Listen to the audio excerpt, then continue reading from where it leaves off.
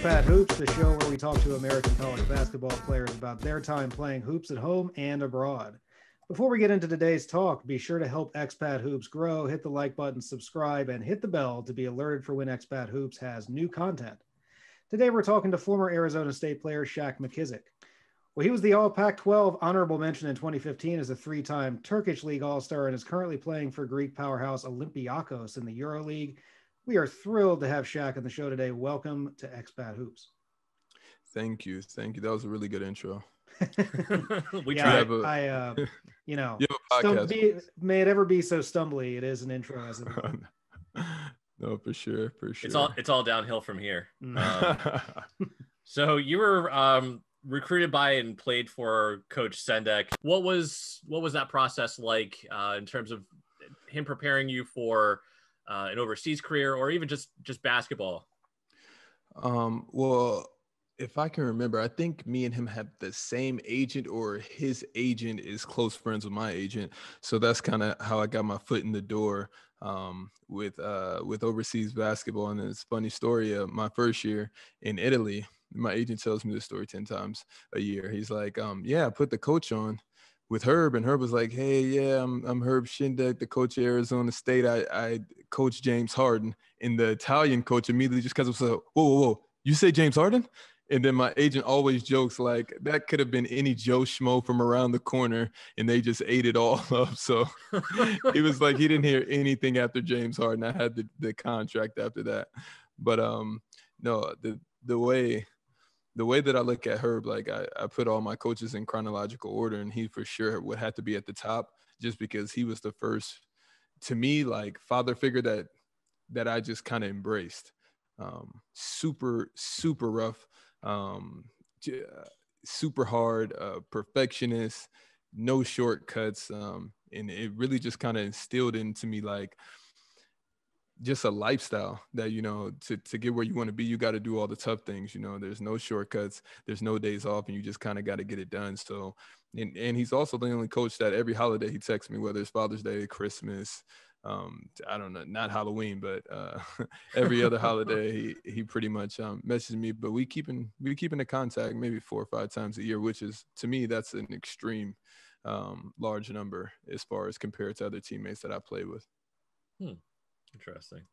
Um, one of the things, actually, I think you brought it up, uh, has the same agent. Uh, that was one of the things we want to get into in terms of, all right, you graduated after, you know, having a really good senior season, 12.4 points, uh, 4.7 rebounds with the Sun Devils. So, all right, your season's over. Uh, start looking to the next thing. Uh, what was your thought process then in terms of NBA, EuroLeague, or, or going overseas? And um, you kind of maybe alluded to it, but in terms of looking for an agent, what was that process like for you? Um, I mean, I think for every kid in America, they want to go to the NBA. But I had a good friend, uh, Jermaine Marshall, rest in peace, who passed away um, about a year and a half ago um, in France. He was playing second division there, but um, we also had the same agent. So my second year that I got granted, he was already playing in Italy. So he was already giving me the rundown um, about this and about that. So I was already preparing my mind um, to play overseas. Um, of course, I knew I was going to go to summer league, but I think just deep down at that point in time, at where I was at in my life, I was extremely nervous, anxious, and afraid to take that leap. Um, just based off of just telling myself every day, you're not good enough. You're not good enough. These guys work so hard you're not good enough. Like you've gotten this far, you're not getting any further. So just already transition uh, your mind to overseas. And that's kind of what happened. Like I got in the games, I just wouldn't shoot. Everybody's telling me to shoot the ball, and I'm just like, nah, I guess I'm a point guard now because I'm just passing it to everybody.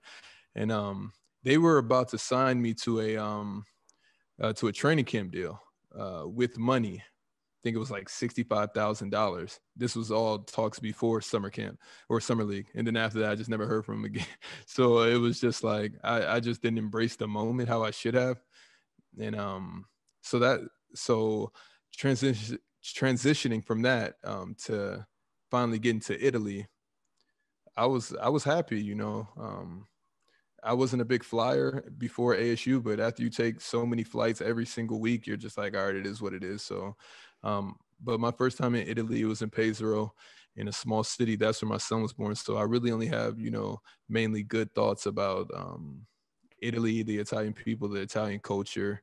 Um, so that's kind of the stint from after college. But a lot of guys come over and are are extremely arrogant, prideful, have ego, can't adapt well. What type of food is this? Why do they operate like this? Why is this closed between 12 and two o'clock? So, you know, the fathers can go home and eat with their families because that's what they do in Italy.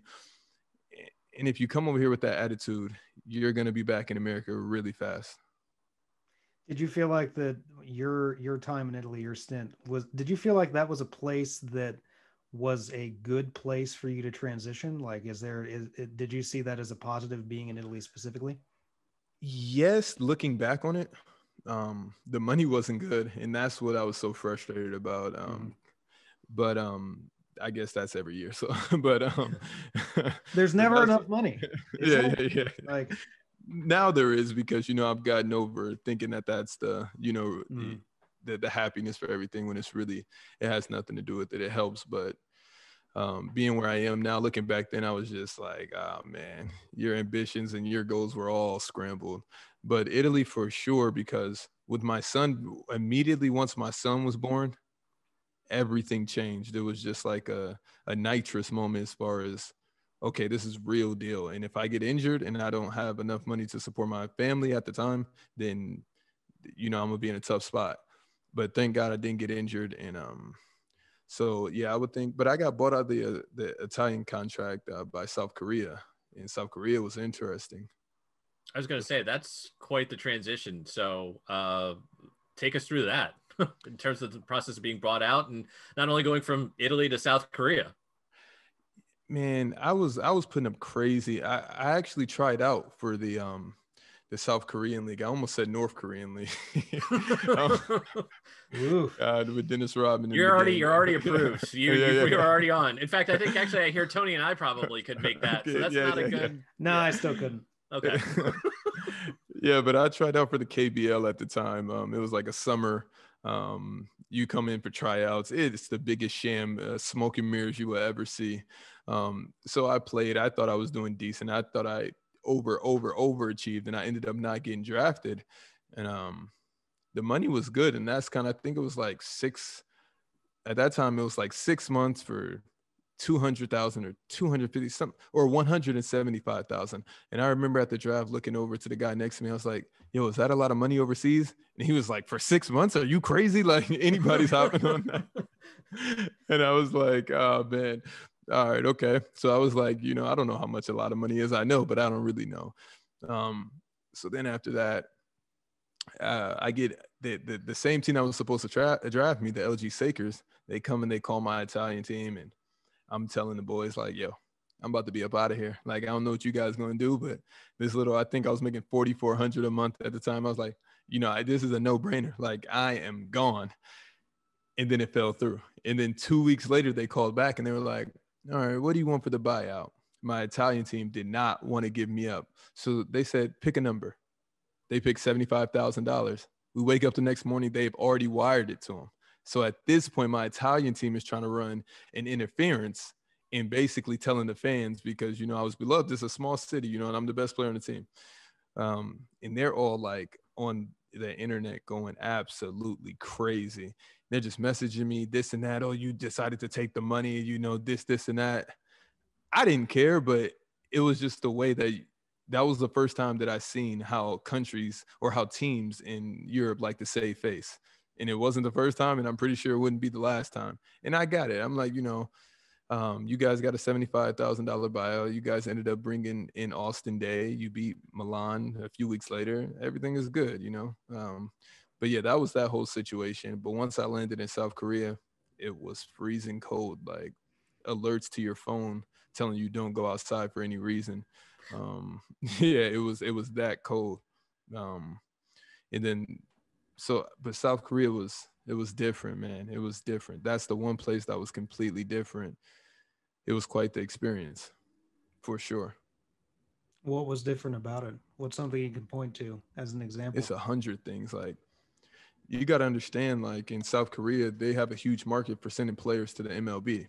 So immediately, like hmm the MLB players and the basketball players stay in the same compound. It's kind of like Oh, it's like I want to say it's dorms, but dorms have nothing on this. It's kind of like the, the a small scale of like what of Apple or Google like um their little hubs where you know that they build for the company where everybody comes. It's kind of like that because you it's is um it's it's in Changwon, the city of Changwon, like uh 30 45 minutes from Seoul. And um it's like a long windy road. You go in, you you you can't drive there. You have your own driver. Um, just to give you the breakdown of what it was like, um, you have a they give you a credit card uh, with um, two thousand dollars that you can spend on anything throughout the month. So you never really spend your salary. Uh, you spend on food, gas, whatever. At that time, alcohol. So it was just like you know whatever. It was so cold. So um, that's what I'm blaming it on. But um, anyways, you you you drive in and immediately you see three humongous um, baseball fields and you're still driving forward to the compound. You get to the compound, you walk in, and you're like, okay, where's the gym? You're like in this back corner because right when you walk in, there's two indoor baseball gyms. It's a cafeteria, um, and it's a chef, and they're just like whatever you want. And I'm just like, um, uh, the kimchi was like big in, in, in South Korea. Um, I tried it; it was okay, but I would just always be like, yo, can I get chicken wings? So they would just always give me chicken every like single day.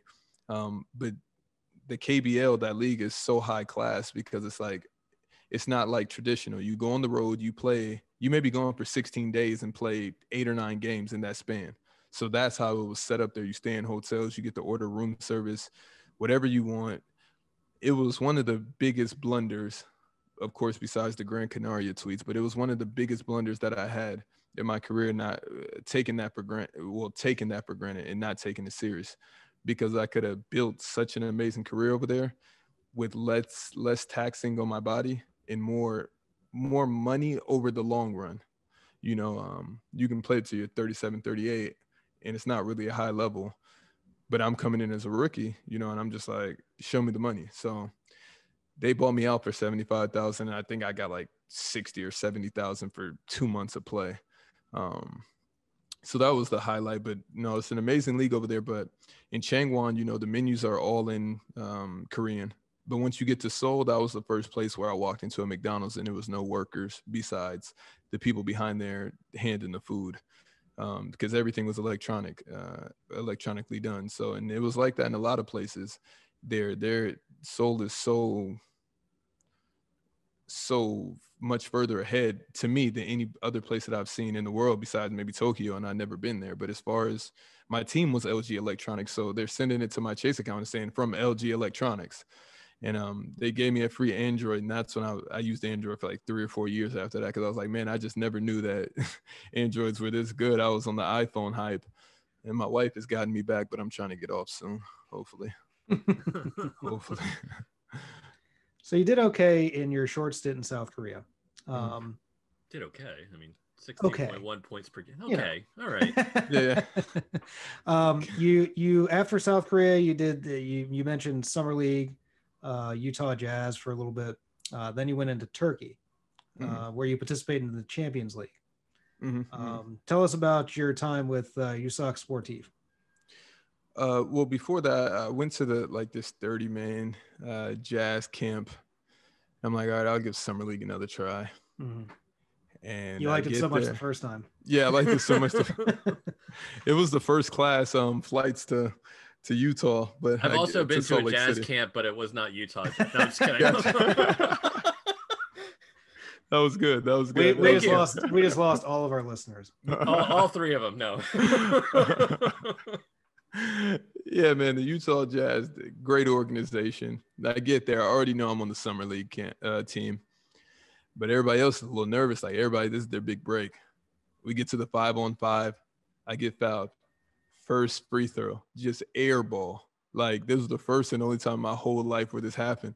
I'm just, I'm just sit like standing there, and I become delirious because I'm like, this is for sure the Twilight Zone and th- that like it was a black mirror moment. So i'm like what is going on with me? And then the teams come on i heard some guys were talking but then i mean they they seen my body at work before that. So i guess uh, i guess uh, that kind of made up for it. Um But man, the first time, my first experience in Turkey was to get to Pesaro my first year. So we land at the the Turkish International Airport. This is when at the height that when they were kind of going through a lot more terrorism. Um, you know, they've really cut back on that. They've done an amazing job. Uh, my wife is Turkish, by the way, just to throw that in there. Um, but um, so I land in the uh, the uh, it's called Sabiha Airport. It's the Oda Airport in uh, Turkey. And I just look out the window and I'm hearing all these things about Turkey, and it's like tumbleweeds flying, it like to me, and it's just smoke every, and dust everywhere, and I'm like man, get me out of this country. Like I never want to come back to that place. So then um, I was super nervous because I was already um, afraid of flying. And, you know, I think with 9-11, I think every American just kind of always has that thought like, man, you just never kind of know. Um, and we're not in the Middle East, but boy, um, you know, you watch CNN, you watch Fox, you see all these crazy things. So I finally get to Turkey my second year, and I'm I'm completely just blown away by the culture, um, the people, just the sense of calmness, like it, especially in the city that I played in, Uşak.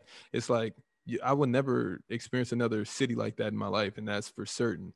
It was just different in everything. Like I, I lived in Istanbul, I lived in Gaziantep, um, and it's there's no place like Uşak to me because it's a much smaller city inside of Turkey. Um, but it's just different vibes, man, and it was it was amazing. You know, you you kind of always got that looking over your shoulder, like, man, anything can go down at any moment, you know, that first year because I just was uneducated. Um, but once once I lived there and I and I seen the people and I experienced the culture, you know, to me, I, I stayed in Istanbul.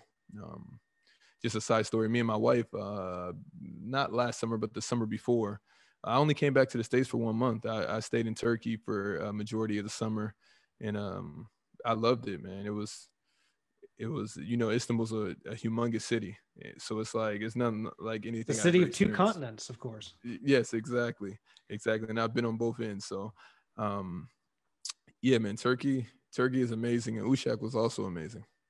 And why is it why is it Uşak is so amazing to you? I mean, we can certainly go down that road. That's it's interesting to me that you're talking about all these other cities being as great as they are, but what what about it to you makes it so special? I mean, I think I just I just find something and my mind just falls in like in love with the idea of that same routine every day. Like even in Pesaro, it was nothing like Christmas time.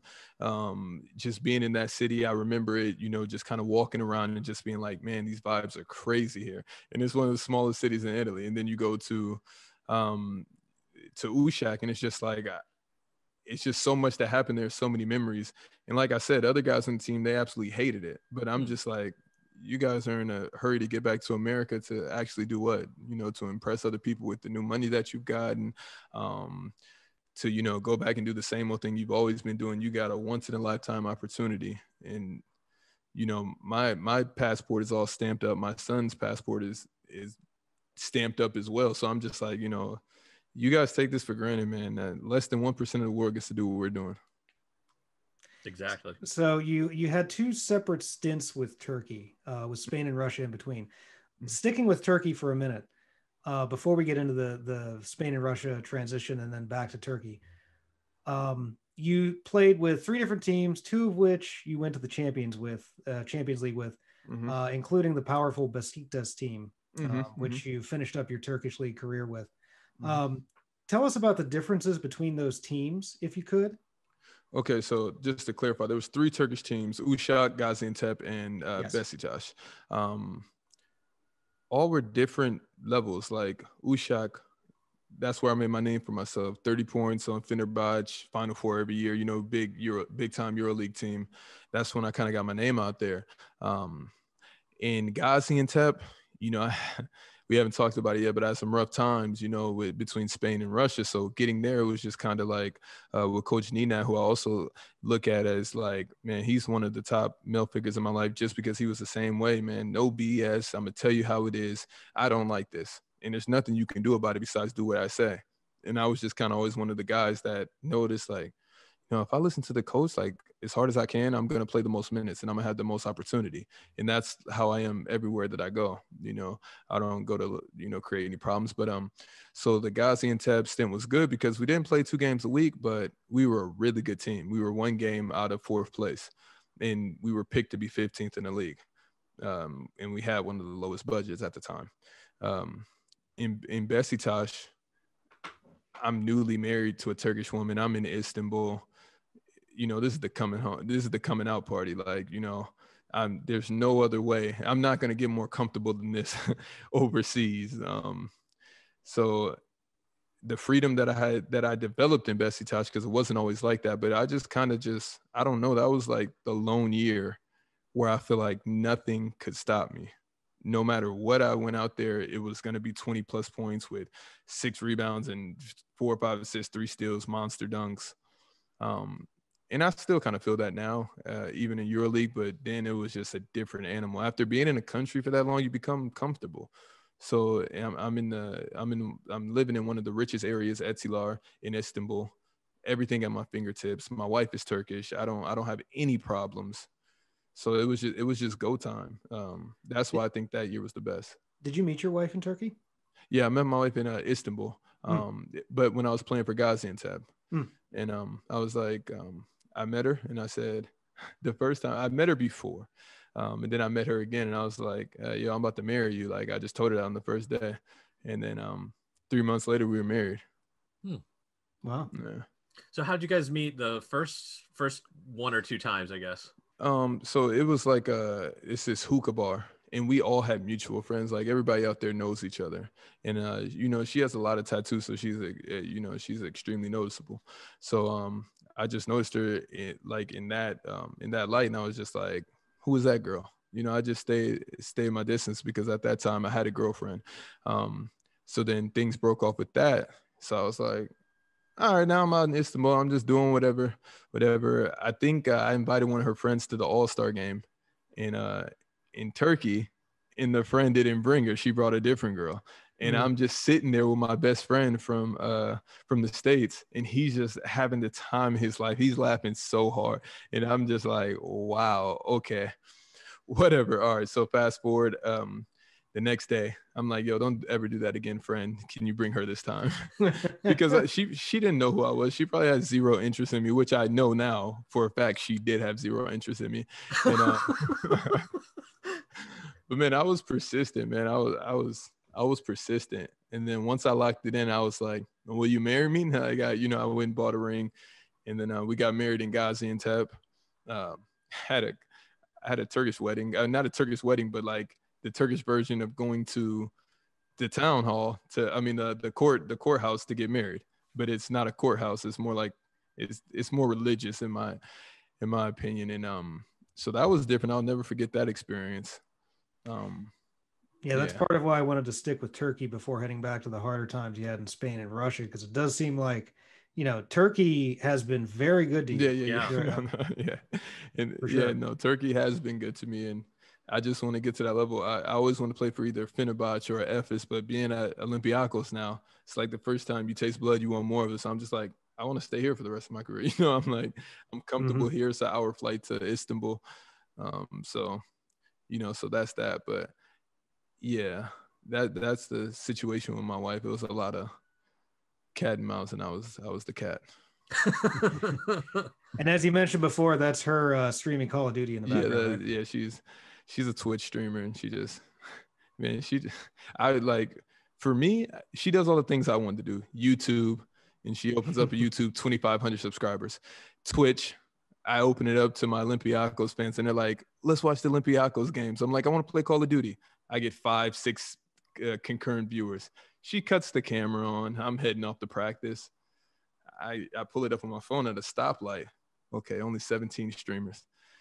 Five minutes later, I get to my locker. She's up to 170, and I'm like, "Oh my god, this can't be that easy." I mean, my one of my dreams, like, I got my wife set like with all her social media stuff. But as I told you, like I've always been into cameras, I've always been into microphones, always been into music, always been into different things. So it's like, um, it's hard and it's just like me i'm trying to jump the broom as far as okay now it's my turn to get it going my wife is is you know kicking my ass. I'm sorry for my language. So it's like we got her going. Now it's my turn. Um, but now I, I'm realizing how hard it is, and it is. I'm just like, you know, it, it, it's really hard. And it's like my my social and um, my um, manager, uh, like the media manager at Olympiacos, is like, because I, I always wanted to start a, a podcast, you know, Smick seven seven, Shaq McKissic seventy seven, um, and I had big ambitions for my brand. And she's like, you know, you know, I can get you know you a conversation with Giannis, and I'm just like, the first time she said it, I was like, you know, immediately I went back to that that the the, the summer league, like, yo, I'm not ready for the NBA yet, you know. but then I, you know, I but I always remind myself like I can't get back into that pattern, even if I get into them and or, or get there with them in in his five minutes and he says, No, you're out of your mind. I've never done a podcast before, and you're not gonna be the first one. I'd be like, all right, you know, it it is yeah. what it is, you know, it just falls off me now. But back in the day, yeah, I, I'd be petrified, but I'm I'm ready to go now for sure. Yeah. Uh, so actually, one of the things that I noticed you started some of my prep with this has been that you did your first vlog. I think eh, probably about two three weeks ago. Mm-hmm. Um, that's a good transition as well. Is that something that we're gonna see from you going forward? Yeah, the second episode is already locked and loaded. Um, it's just the thing, man. I'm I feel like I'm such a creator that something comes out and I see the direction it's going in. It's like, ah, I don't know if I want to go in that direction. So that's kind of this the the part that we're at with um, my cameraman, aka my director, um, Chris. We we had a conversation. I was like, I want to do something else. Like I'm building a brand out here in Athens, clothing, um, uh, Twitch, um, you know, Beyond Meat sponsorship, stuff like that. I'm like, I want you to sit in on those meetings, and I want to show people how hard or how easy it can be just by just saying simple email to Beyond Meat, one of the biggest vegan um, meat packaging companies, you know, and they have amazing food. I just emailed them hey, I, I play for Olympiacos. Can I have a sponsor? All right, come in for a meeting. We we sponsor a bunch of NBA guys. We would love to sponsor you. And that was the first one. And it's like I'm getting around to like the monsters and the um, you know, other type kind of gaming companies um, to start emailing them because I'm just like I gotta look the part, you know. I just can't be over here like, yo, buy my clothes, um, and, and, you know, not have something, not have something for people to look forward to, you know. Yeah. Um, I pride myself on attention. I read read a lot of books about branding, so I know where it's at. It's just the execution part. Exactly. So, so with your second vlog, what can we look forward to with that before we go back and what's actually already out? Gotcha. the direction um, of the second episode. The second one, I, I talk a little bit about, about, my friend that passed in um in France, um, and it's just kind of the meaning of life. It's a Kobe episode. It, it's going to be called Kobe because um there's a court here on a rooftop and uh, Kobe spray painted on it. Um, so I just kind of talk about a little bit about Kobe's career and just um, how you can't take things for granted. And then I transition into talking about um, my friend Jermaine Marshall, who passed. And it's just kind of one of those stories. But I'm like, man, the first episode was amazing. I know this one's amazing. But to keep the attention of people, I just don't want to keep hitting people with these not clickbaity type stuff, but that's what it feels like to me. You know, that's not what I I don't want everything to be centered around, oh, look at me now. I want I want people to see like, no, I'm here and I'm still grinding and it's hard. It's really hard. It's a bunch of noses. Clothing companies that say, yo, we love you. We love you as a player, but we're absolutely backed up two months and there's nothing you can do about it. But hmm. you know, um, sorry, you got to find somebody else. So um it's interesting, man. Then you got to deal with the politics of walking into that locker room. And I'm I don't know if you guys have um well well you both have jobs that I'm sure that you have outside of podcasting and it's like man you post something like when I posted my YouTube video to my page and just walking into the locker room and just feeling that conviction of everybody like who does he think he is you know and constantly having to deal with that like this guy's silly for chasing his dreams and doing what he loves to do. And that's kind of the killer part about everything is just like always having to deal with that 24 7. Hmm. You got to have thick skin, man. Yeah. Mm-hmm. So one of the things is actually really we talked a little bit before the pod as well about some of the stuff with criminal justice and your first vlog um, really interesting to me uh, took the the clip of Doc Rivers talking about um, some of the issues with social justice reform mm-hmm. um, in terms of it's interesting about how a country that you know doesn't i'm paraphrasing doesn't really you know that you love but it doesn't really love you back mm-hmm. what was what was the inspiration i guess for for that uh, that episode in full? Other other than other than that clip. Um, I'm not gonna lie. I never thought that in my lifetime I would experience something that happened this past summer. Just from the standpoint of I've lived it. I've lived some of those things. So to me, it's like, man, I knew this was the truth, but I never told anybody because it's just like, what is gonna change? It was just like my voice is so small. But when you get a country or um, a group of people to rally around something, as we've seen when Trump got elected uh, four years ago, it can happen. So just to see you know, both black, white, all ethnicities, you know, races, genders, everybody coming together and just being like, no, this is wrong. Um, I think that shook me. And I, I didn't, I didn't go out and protest. I didn't, um, you know, I, I, I posted um, a few um, tweets or, you know, retweeted a few things. I just sat in the background because it's different. I'm, I'm trying to find the right words to say because I don't really want to offend anybody, but I, all I can say is I've lived it. So the best way for me to do it is through my creativity, however that is. So I feel like with that first vlog, I just opened up to a lot of people's eyes out here in Europe. Like we knew what was going on, but now this is one of your prominent players that play in EuroLeague telling you this is true. you know, he's doubling down on it. And uh, the things that I've seen in jail, the things that I've seen with solitary confinement and just being in a room with no windows for three days and you're just getting a tray slid through your door, it does stuff to you, especially your mind. And it's just like, for me, it just focused me up, man. I it, it just it just created laser focus. Like I remember those rooms vividly, all of them, and it's just like the conditions that we're living in. I get it, it's jail, but my God, it's it's it's criminals at the highest level, CEOs of banks, um, you know, in the uh, you know stockbrokers, whoever it may be, that out here living this amazing life, but just because I wasn't you know afforded that opportunity, you know, and now it's the same opportunity that I have to deal with with my son to be like, you know, he's gonna grow up, his dad's gonna have some type of um, leeway, you know, as far as he's good in this the countries that I played in. You know, if they if, if he needs to come play here or if he gets into trouble, I have the money to get him out of it. But it's just like it's a two edged sword, surely.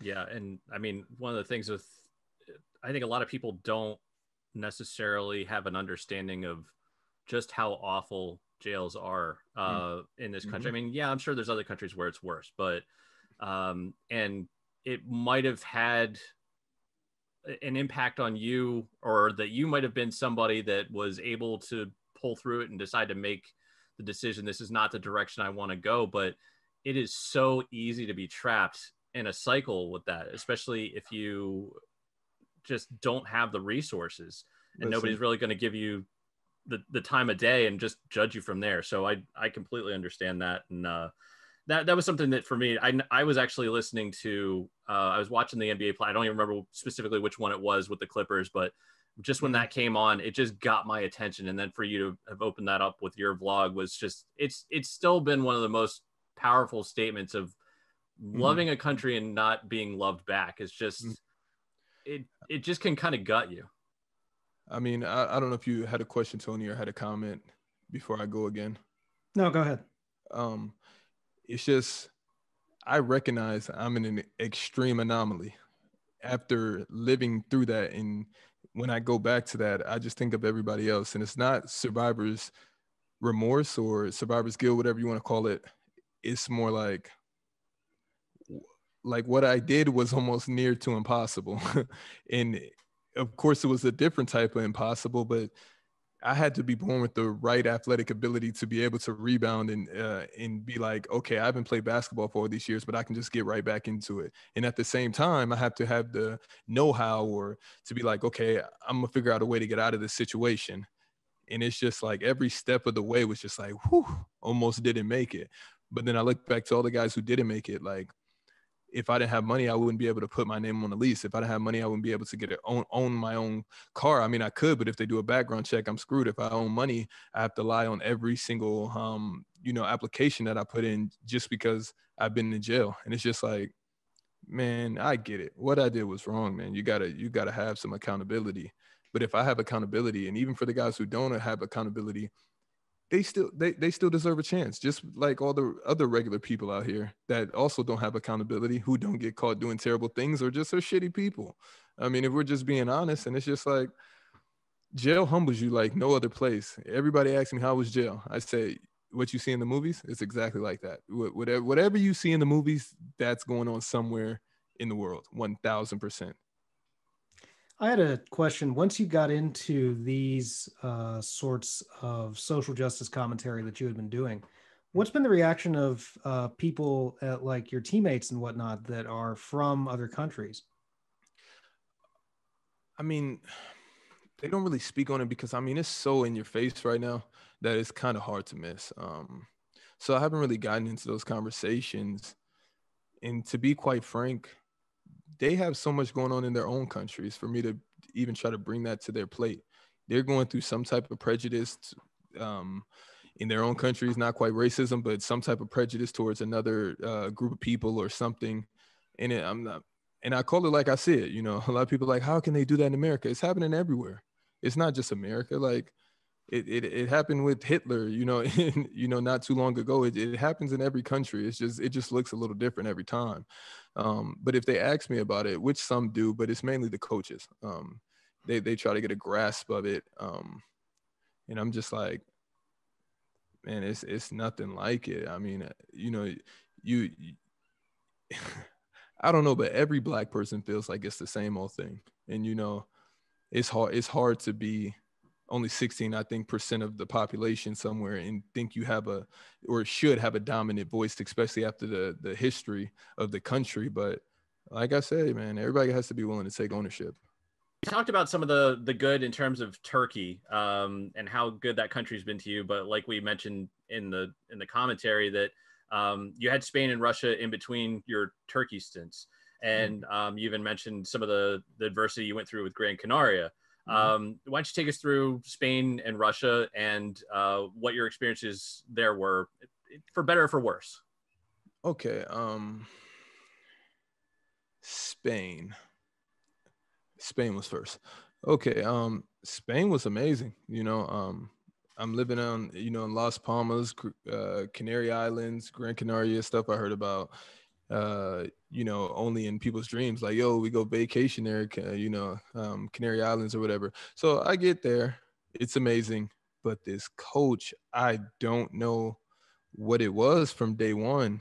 He just did. I think what happened was I had my Azerbaijan passport, but it didn't get clear for the ACB, so I automatically counted as American. So I don't know if he wanted me to get up out of there and you know to bring somebody else in but those were 100% the vibes. And looking back on it, I did 1 million things wrong to put myself in that situation.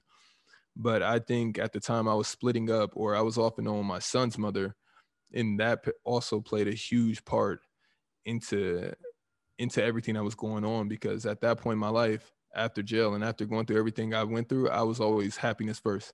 So if I wasn't happy in a situation, the nuclear bomb was about to go off. And I kept telling my agent, yo, please get me out of here. And he'll, he'll admit to this. I called him five or six times before I actually blew up. And it just took Luka Doncic scoring 13 on me or something like that to really send me over the edge finally. But um, yeah, man. So the story in Gran Canaria goes, um, we just had played Madrid. This is after the coaches berating me all season uh, so far so to rewind, me and him actually got into a physical altercation in a game um, in Zenit, uh, actually where I'm going in Russia, in St. Petersburg. He um he kind of gave me a tap, so I gave him a love tap back, and then we were kind of both just doing this to each other, like nobody wanted to cross that line. I'm like, yo, I promise you, this isn't what you want to do, but um so we get into it. That was actually one of my best games of the season. After that halftime, I, went in there with like two points and I finished like 15 points. And he blamed me for missing a defensive assignment, which he later apologized for that week, saying, You're right, I was wrong. But that's kind of what it was like the whole season. So we get to Madrid, we lose to Madrid.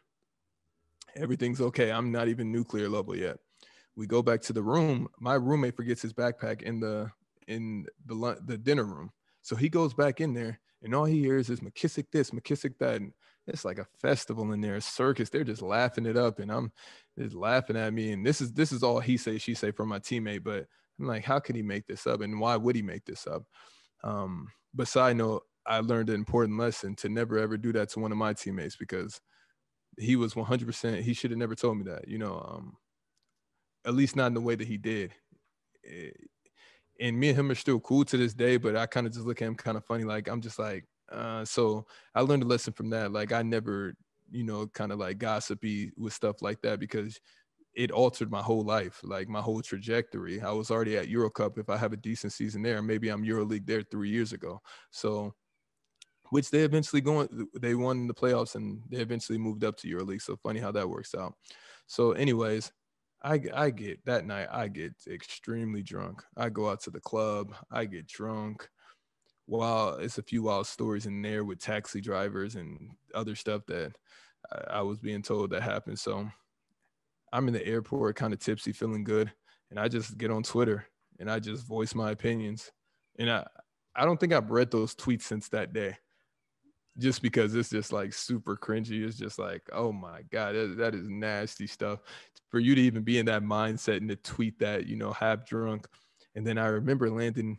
We land, we land uh, in Gran Canaria you know, I took the tweets as the plane was like this. So we have no Wi-Fi connection for two and a half hours.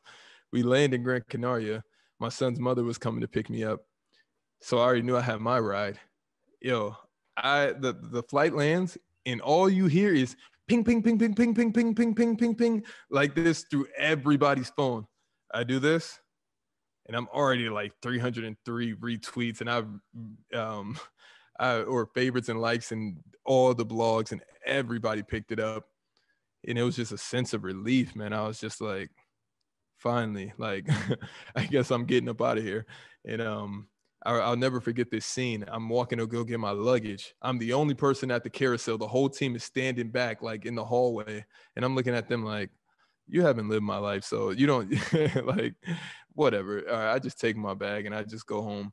And from that point my life slowly started to get back on track. It was it was a it was a rocky lift off after that, but that that was one of those defining moments in my life where I was like, that was the first time where I was like, wow, that's what true ultimate freedom feels like.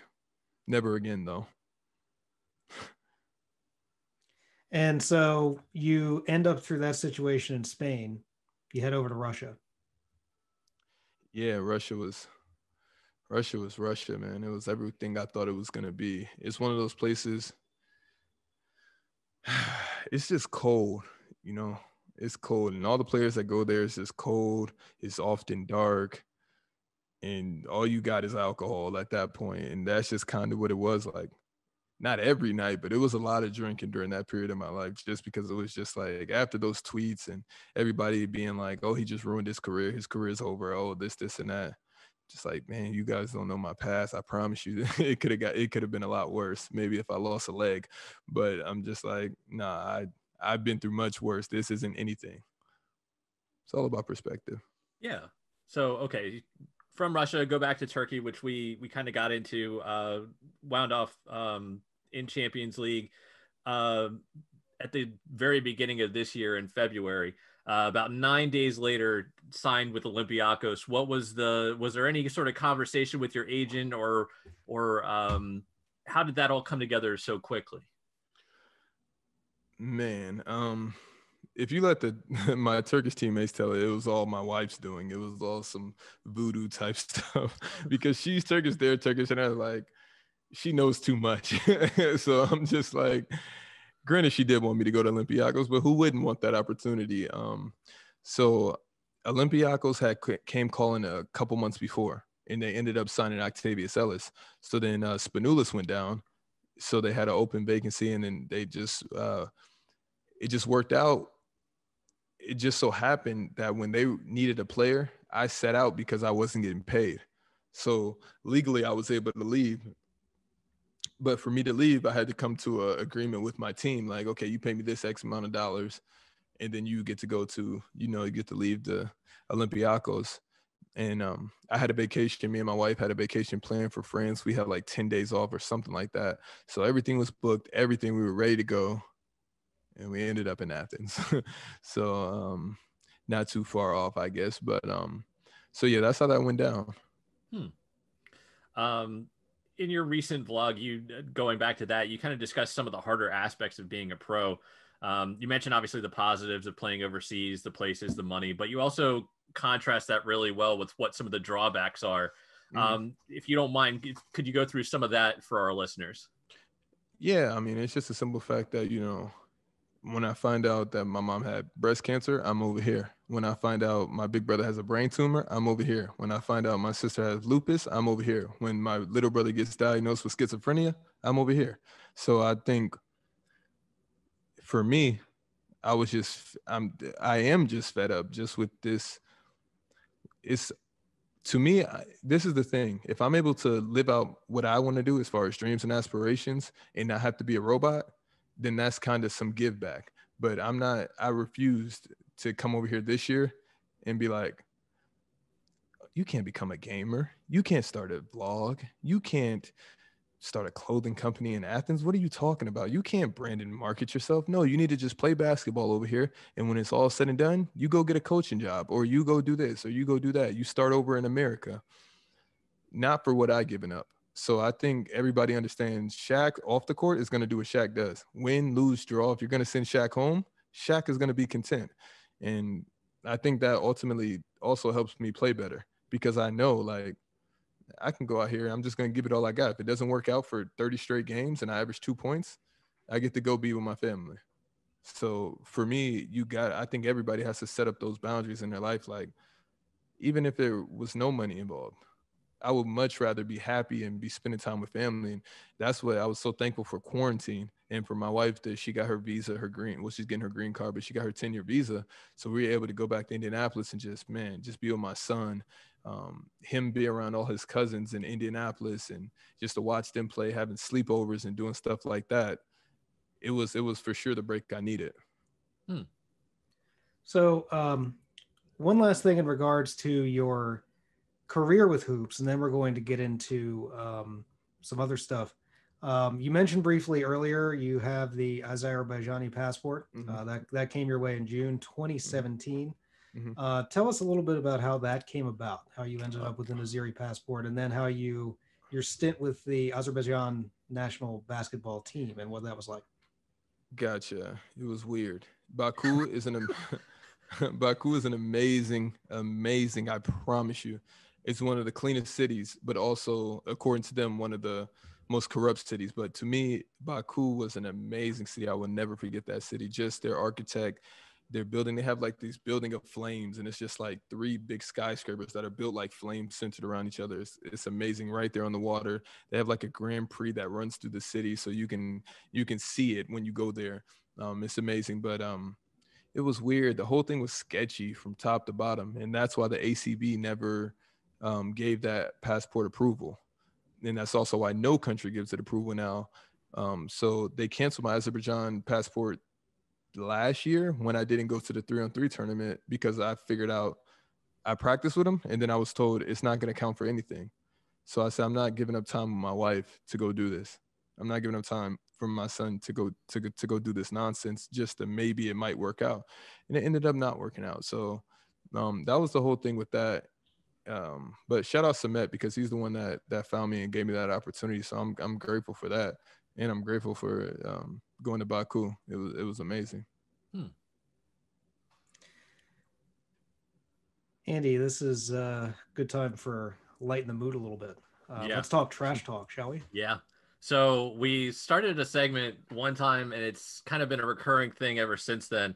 I don't know if you ever heard um, the Larry Bird uh, "Merry Fucking Christmas" uh, uh-huh. trash talk story. Have you? Uh, no, I haven't heard that. All right, so this is the way we're we're labeling it this because I mean some of the other people that have trash talk like Kevin Garnett that gets a little too intense.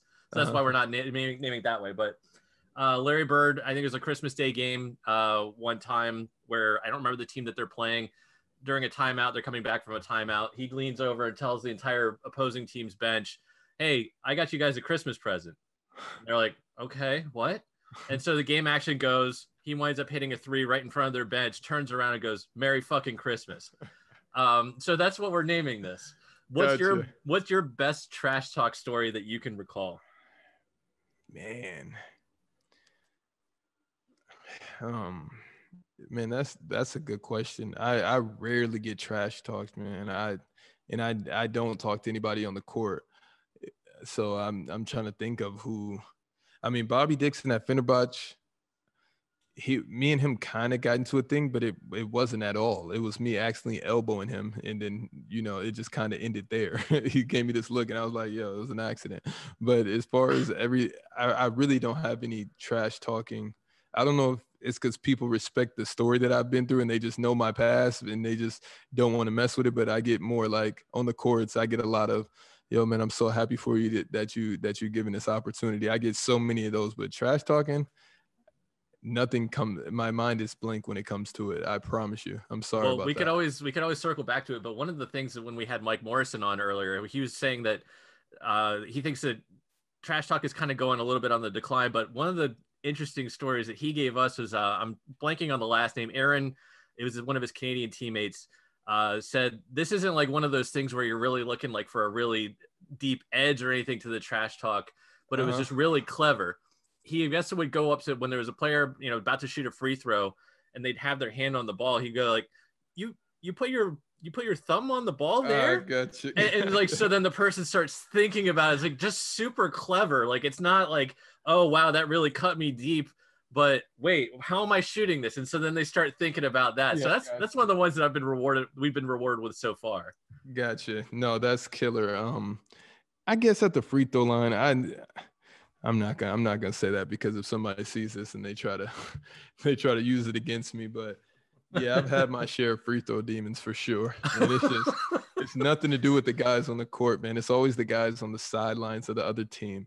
And I'm always listening for it. Just a hey yo, or just a whoop whoop, some just crazy. And I'm like, I'm about to miss this free throw. like those those are my big ones for sure. I cannot I cannot handle those. Oh my god. Um, what uh, on that note too? You're talking about the the guys on the sideline, the players. You've played in Turkey. You're now in Greece. Those are mm-hmm. places that are notorious for mm-hmm. fan behavior mm-hmm. that mm-hmm. is distracting and sometimes mm-hmm. dangerous. Uh, what yeah, are some no. things that you've seen from people in those two locations in particular? Craziness, man. The first time we beat Fenerbahce, my first game in Turkey, um, playing in you know the Turkish league, and I had like 30 or 31 or something like that and it was just like and it was a home game so it was just flipped upside down like it was packed out. I'll never forget that scene like it was people on top of people on top of people and we beat them and it was just like all right here goes the keys to the city. Everybody knew who i was. Um, the Olympiacos versus uh, Pana game, which is one of the biggest rivalry in the history of sports as far as two teams not liking each other. Um, and during the game, it's a net around the court, so you can't, no fans can come on, and it's just security. Um, the police escort, everything is just backed up on the highway. And that's why I'm so bummed out about COVID because that experience is unmatched. And I became an instant celebrity in Greece just off of that one game. Hmm. Wow. Yeah, yeah. Granted, it was an amazing performance, but I mean, I guess I just lucked out. I was just lucky once again as far as that destiny.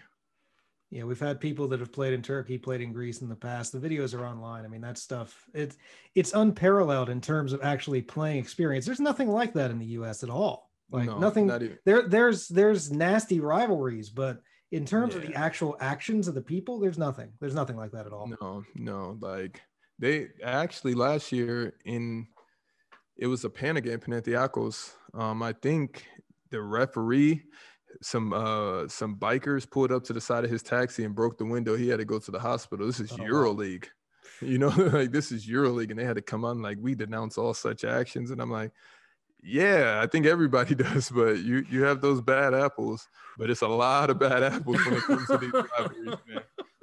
Just fire in the stands, and it's just like you. This is what happens. You'll play a game with that many people, both in Turkey and Greece. You go into halftime, you come out, and it's just smoke everywhere, and it's just like oh, you guys, uh, no, the no smoking signs are broke. Everybody's just lighting up in the crowd, just waiting for the action to get back. Smoke break, it's just stuffy in there, secondhand smoke. But you know, for you can't be that experience.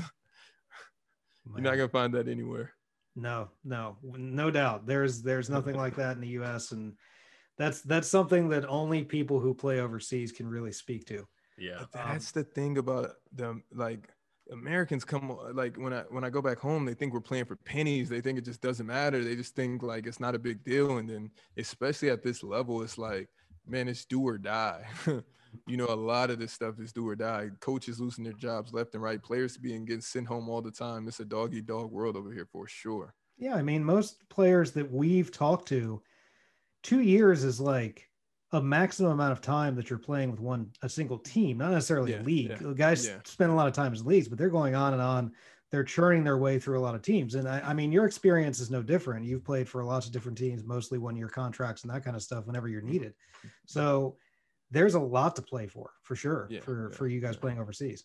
Yeah, yeah, for sure. And it's like I said, the money's good. You know, the money's kind of always been good, but it's guys over here making insane amounts of uh, you know of money, and I'm just like, the only way I'm gonna get there is if I relax, man, and just go with the flow. It's a lot of guys come over here, they overthink it, and they just burn out, you know. So you get you, it, it's a lot of weird superstitions over here, like for for players and coaches. Like it, I've seen some rituals that are crazy. Okay, now you're gonna have to talk about. Yeah. You're not gonna you're not gonna get away without. Uh, all right. I'm I'm trying to man, it's just like superstition. Like say for my coach now, like I think like we have a starting lineup. We lost the first game. He puts in this new starting lineup, and it's just like until we lose again, this is the starting lineup. And and until and it's just like even previous coaches, it's like I'm trying to think of one off the head, but it's just like because of some stuff that I don't want to get into because I get it. It's it's to do with something else, and it's just like I don't want to speak on that on air because that's a, that's their lifestyle. But it's just like, well, that's I never seen that before, and these are like elite players, and it's like, wow, okay, all right, that that's pretty weird, but I get it though, I get it. But some some guys are just like, I eat the same thing before every game, the night before every game. I have to do this, I have to do this. Um, and I'm just like, man, you guys put so much pressure on yourselves, and you give your your subconscious so many excuses to be like, if one of these things don't go right, I'm about to have an awful game. And that's why I just don't give it. Only the, the, what I do is three hours before the game, beet juice. And then 10 minutes before the game, I have my Starbucks right there courtside, four or five espressos with a hint of sugar and just shotgun it. And it's just like, that's just that. And I'm not going to lie, if I didn't have either one of those, I would be in panic mode. So I can only imagine what these guys are going through it's interesting. I was going to say that one of the things that comes to mind in terms of uh, Ben Gordon is somebody that I think has recently kind of discussed about some of like his mental health issues. Mm-hmm. And one of the things that really, I don't know, I hadn't thought about it that way in terms of sometimes, you know, professional athletes or, or just athletes, I guess I should say, they'll, some of the behaviors are something that you think about like as a basketball player that might make you good in terms of, uh, you know, repetitively doing some tasks or over practicing or things like that that you mm-hmm. you think about it from a basketball standpoint or a sports standpoint and you're like oh that's what you want from an athlete to repetitively do that mm-hmm. but then also when you're thinking about it from a mental health standpoint you're like maybe that's not the best idea oh, um, oh, or, or, or, what's going on so that was that was something that even probably from a pregame ritual or something like that you're probably getting it like you said putting so much pressure on yourself probably I mean, is not, not the best thing like we're not snipers. Like I, I get if you had a job where your focus had to be mentally sharp every single second, but no, man, you're supposed to be having fun with everything that you do, any job that you have. Like, I'm sure that's why you guys picked up podcasts and you're like, this is way funner than my real job. so, exactly. so it's like guys coming here and they're so serious, and it's like I, I got to be a different person on game day because I have to act like I'm focused up too, but I'm, you know, I'm shooting around before the game, earphones, and I could be listening to anything from Miley Cyrus to a podcast to just just all types of random stuff.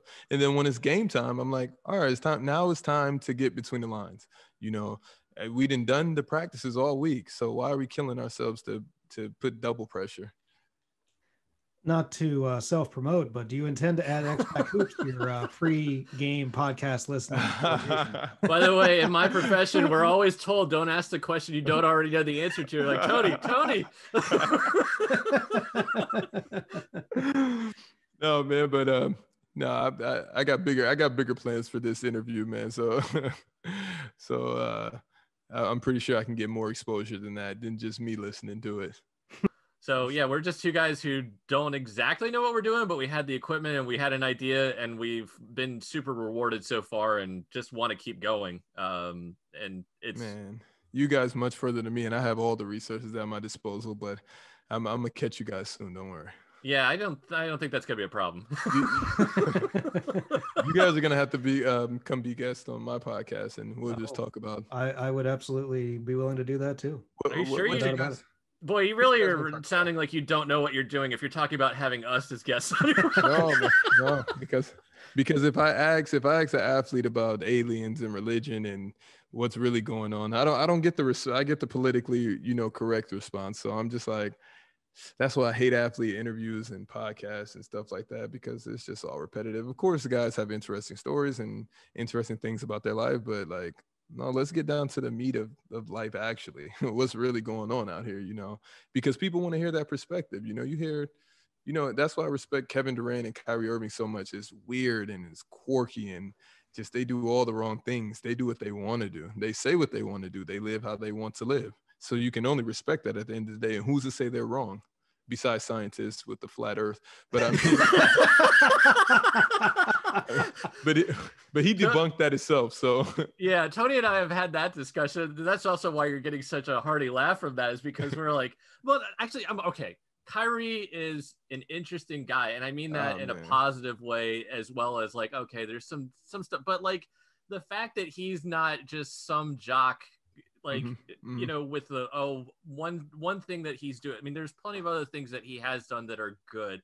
Yeah, the flat Earth thing that's a little off the mark yeah, yeah, yeah, yeah, yeah, yeah. but but he is an interesting guy and same thing with like kevin durant i mean he's got a lot of business interests and everything like that He- he's he's not just some you know dumb jock again what's it Mhm. somebody Yeah. that he's somebody that has a personality got some character and oh by the way he happens to play basketball at a really high level Yeah, yeah, exactly, exactly. So it's hard to tell those guys no just to, to about anything, but no, they're they're two quirky individuals, and that's why it works for them. And it's just like it's just always that constant feeling like you're for sure trolling us. I know you're trolling right now, and they just live for it. And Kyrie has YouTube rabbit hole written all over him, so I can respect that though. My my Yeah. brother's the same way, just always a conspiracy, just always. And I'm just like yeah, but no. you know what? Everything is a conspiracy and it's just killer. So all right so i i don't know if we necessarily have any other expat hoops questions but we could certainly go off the rails on expat extras if you want